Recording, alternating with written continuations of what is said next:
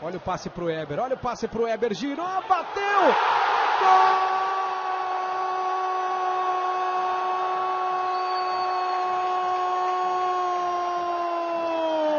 do Figueirense! Eber, 15 minutos, primeiro tempo de jogo. Recebeu, puxou para o pé esquerdo, soltou a bomba no canto. O Márcio foi, mas não conseguiu. Olha o giro para cima do Rafael Santos e a finalização do Eber.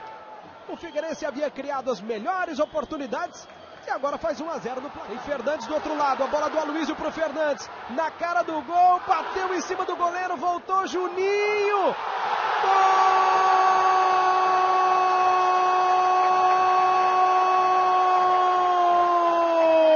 Gol do Figueirense. Juninho, 19 minutos, primeiro tempo de jogo.